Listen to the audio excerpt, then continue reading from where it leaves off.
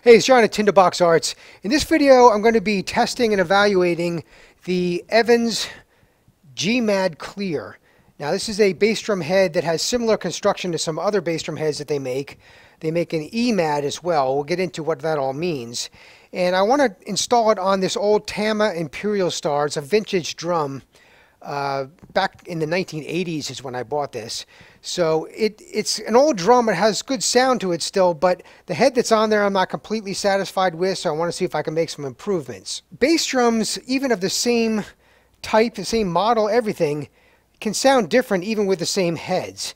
So this bass drum right here um, is exactly the same as this bass drum on this drum kit, and it even has the same heads. Yet, for whatever reason, this one sounds much better. It has a deeper, thicker thud to it, and I, I, really prefer this drum. Unfortunately, this drum's marked up a little bit on the finish, so I, I don't put that on my main kit. And here's a third example of the exact same drum. This one has different heads on it, but again, it has a different uh, character of sound to it. So I point that out only because when we're trying to buy or evaluate a bass drum head, or any head for any drum, uh, you know, sometimes we assume that other people's experience will be the same as ours, and it may not be the case. I have a, a microphone here at the bass drum port, um, which will stay the same, and I also have a microphone inside the drum, pointed directly at the drum head from inside. So I'll record both of those on my DAW, and um, apply processing like I normally would. So basically I'm going to make this bass drum sound as good as I can giving the Powerstroke 3 head and I'll do it as good as I can uh, using the GMAD head and we'll just compare and see how much difference there really is. So on the business side of things here let me just show you what the existing setup is. Um, I have a double bass pedal and like I said I'm using the Remo uh, Powerstroke 3 bass head.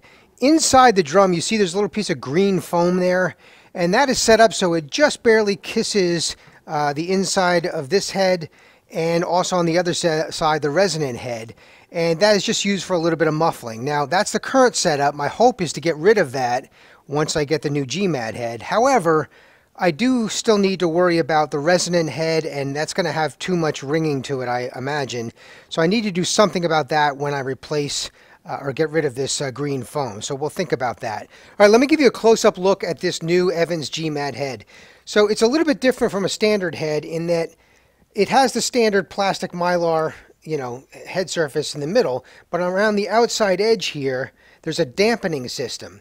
And that dampening system gives you three different options. There's this plastic retaining ring around the outside edge here. And one option is to just have that retaining ring and nothing else. And that will give you a certain amount of dampening. And then inside this retaining ring is a foam insert which can be completely removed. And that will provide additional damping if you wish. And then there's a third option, which is another foam ring, which just has more foam to it. It's going to give more dampening. So you have three different levels of dampening uh, that you can use. Now, the main difference between the GMAD and the EMAD and, and other uh, varieties of the same system is that the head thickness can change. So some are thicker, some are thinner, or they may have two heads. Um, and either of those two heads may be a different thickness. So that's the main difference. They all use this retaining ring and this foam system, but they have different uh, thickness of head or numbers of, of, of uh, plies. Now here's a close-up of the edge of the head and you can see that Evans is using a metal ring here. Uh, if you go way back, you know, Evans was kind of famous for making their hydraulic heads and they didn't have a metal ring on those. They had kind of a, an epoxy system, which could be kind of ornery and, and uh, troublesome over time. But this is just a standard metal ring, and I think that's good. They do throw in what they call an EQ patch, which is just protection uh, from the beater and uh, but they give you a single and I need a double so I bought my own but they do throw the single in. Alright so I'm getting this new head installed. I wanted to give you the opportunity to see the inside of the bass drum and my microphone set up. So this is the microphone right here pointing directly at the head and then you can see coming in the port there is the other microphone. And I will change the balance of those microphones or maybe turn one completely off depending on what I'm after but it gives me the options. And this is that piece of foam I was talking about so it just, you know, touches the edge of the head, but I need to get rid of that now, I'd like to get rid of that now. But now I do need to come up with some way to, you know, dampen that resonant head from the inside so it looks nicer. And I, I may end up, I'm not sure what I'm going to do actually, but I got to come up with something to do there. All right, I have the new uh, GMAD head on. And one thing to think about when you're tuning, a lot of times I'll take my finger and just push it against the edge here to tell if one lug is not as tight as another and you can see you could feel looseness in the head well you can't do that because of the dampening ring being in the way uh, not a big deal but something to work around now on the resonant head what I ended up doing was using a self-adhesive uh, weather flashing foam uh, which you know I, am not sure is, is the best solution, but it's what I have on hand right now. So the resonant head has some dampening, but not a whole lot. And I think what I might actually end up doing is going old school and sourcing a felt strip to install on that head because I think that's kind of what I need. But for right now, it's stamping enough where I can get some uh, use out of it. And this new head right away, when it's tuned up, it, it's definitely got a very tight uh, thud to it. It's, it's not a boomy thing at all. It's definitely a thud.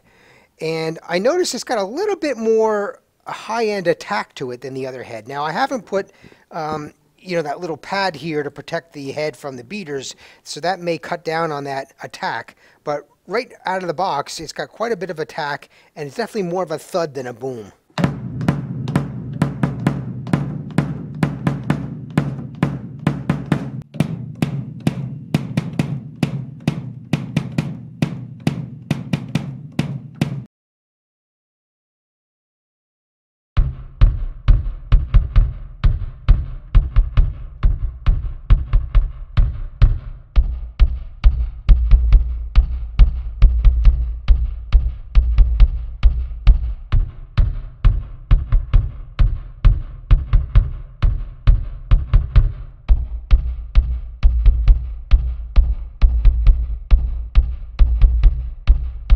I've had a chance to play with this a little bit.